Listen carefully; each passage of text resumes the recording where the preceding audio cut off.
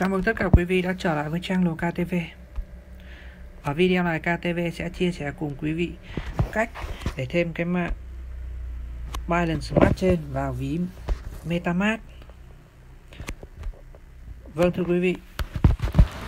Hiện tại Binance có các ví Safepan, ví Church Wallet, nhưng có nhiều người vẫn thích sử dụng ví Metamask thì hôm nay KTV sẽ chia sẻ cùng quý vị cách để thêm cái mạng uh, Binance Smart Chain. Nó chạy trên cái network là BEP 20 và là phiên bản nâng cấp của BEP 2 thì đây là cái ví MetaMask.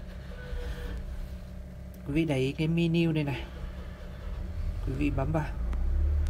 Rồi quý vị chọn phần setting setting này quý vị chọn tiếp là network rồi, rồi quý vị chọn tiếp là add network này. Ok cái ô đầu tiên là cái network name quý vị hãy đề là Binance Smart Chain.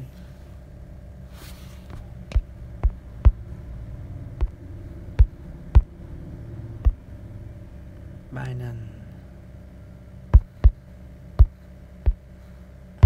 Smart Chain. Sang cái ô thứ hai urpcurn quý vị hãy đánh là http s 2 chấm hai gạch xược bsc bsc gạch ngang. Data sheet 1 data sheet 1 chấm balance.org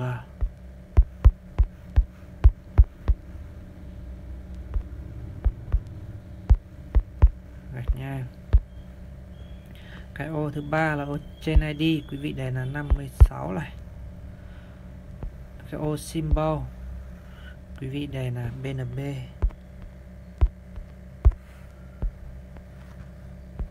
cái ô cuối cùng, block x browser vị đề là https 2 chấm, hai gạch trượt bscscan.com